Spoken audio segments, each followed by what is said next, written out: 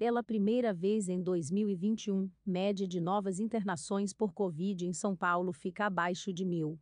Taxa de ocupação de leitos de UTI está em 46,6% no estado e 42,7% na Grande São Paulo.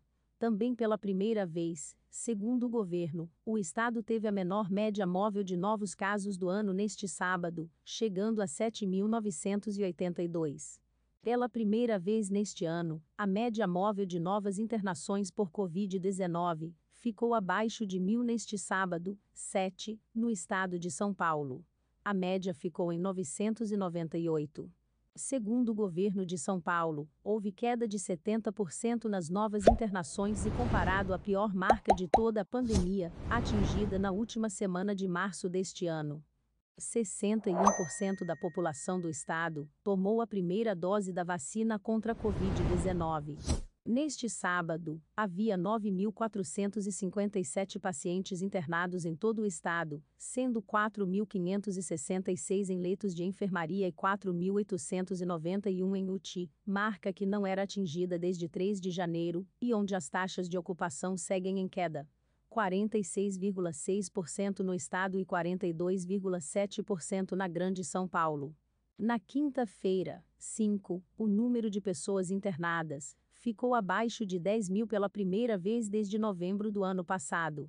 Apesar de os hospitais estarem menos cheios, especialistas alertam para a importância das manutenção de leitos e das medidas de prevenção por conta da chegada da variante Delta.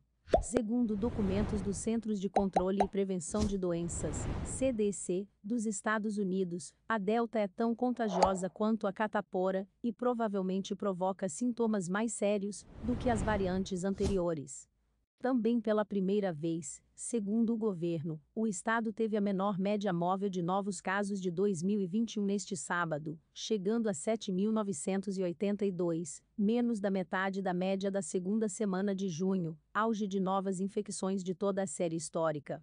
Além disso, a média móvel de novas mortes é de 240, três vezes menor que o recorde verificado na segunda onda, 813, na semana epidemiológica 14.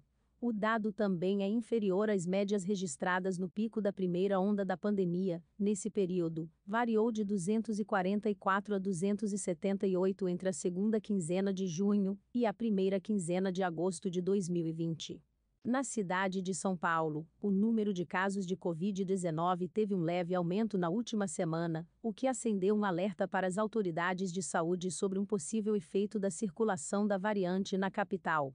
O secretário municipal da Saúde, Edson Aparecido, declarou que a prefeitura vai manter leitos públicos abertos para receber eventuais pacientes de uma possível terceira onda da doença. Abre aspas. A transmissão da variante Delta já é comunitária, então, portanto, o alerta é fundamental para que as pessoas entendam que a pandemia não passou, que é importante não se aglomerar, seguir as orientações sanitárias e ter o uso correto da máscara. Fecha aspas. Disse o secretário. No Hospital Geral de Vila Penteado, na zona norte da capital, a diretora técnica Denise Rosa disse que a demanda por tratamento para Covid-19 caiu, mas a preocupação com a variante Delta fez com que os leitos tenham sido mantidos. O cenário está mudando.